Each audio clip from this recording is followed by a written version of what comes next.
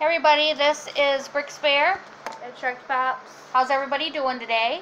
Um, I'm doing mystery boxes and opening boxes from back in July. We've been busy with softball and Kaylee not being here and with summer vacation and everything, so I'm going to get some stuff opened.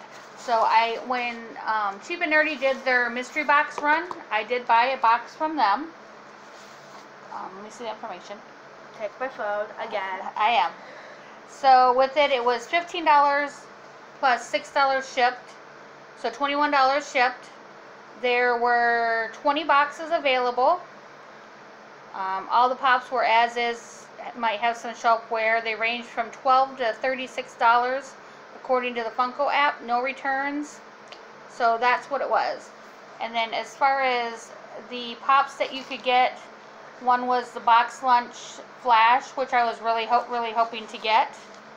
Um, so who knows what's in here. Um, Emerald Comic Con one. There's um, Captain Marvel Walmart Glow in the Dark, and some other ones. So here are. See if I can get you close to that. The pop, the pops that were could be in, in the box because there was 20 of them. So those are all the pops that were in the mystery boxes for their run. So I'm going to go ahead and get that opened. And I will link Cheap and Nerdy's channel down below so you can go check them out. Um, and I'll also I'll also link their liquidation page on Instagram where they sell their pops, um, some of the stuff that they're selling, so you can check that out as well. So they are a really cool channel. I like them.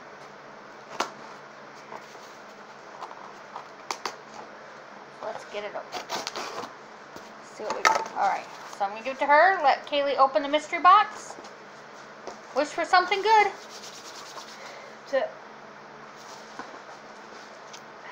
Is it, what is it?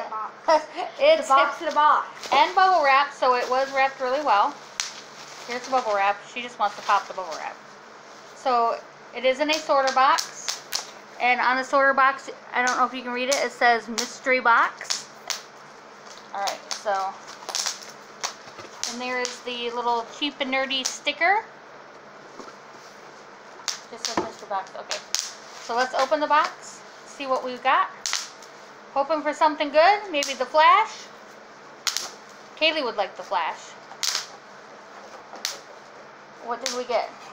Well, we didn't get the Flash, but we did get a Lord of the Rings pop that I don't have. And this is Grishnakh. And this is the um, Funko uh, Comic Con, but it's the shared sticker. Emerald Comic Con sh shared sticker. So this is a pop that I don't have. So for me, it's a good pull. It was not the flash that I was hoping for, but still a good pull. It is a pop that I don't have, so. There we go. So Cheap and Nerdy, thank you. Great mystery box. We'll definitely order from you again if you have another one. Any thoughts?